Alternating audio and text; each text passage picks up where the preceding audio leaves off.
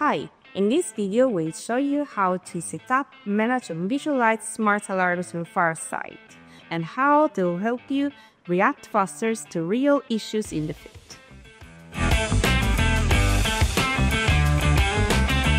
Imagine you want to be alerted when wind speed is high but power output drops, a common signal for potential turbine issues, especially if not notified by the OEM machine status code. In Farsight, you can build this logic in seconds. Let's create a trigger for that. Go to the alarm trigger and create a new one. Let's choose alarm type like silent, derating and define severity too. Then we add a clear message, high wind, low power, check turbine underperformance. So your team knows exactly what to do to identify the root cause, such as yaw misalignment, curtailment, icing, silent derating, and so on. To avoid false positives, we set a trigger delay of 10 minutes.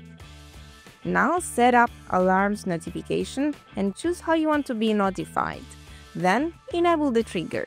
Once saved and enabled, the trigger is active. Once triggered, the alarm appears instantly in the active alarms tab with clear site, device, severity, and act time. In the active alarms view, you can monitor all live alerts, including the one we just created.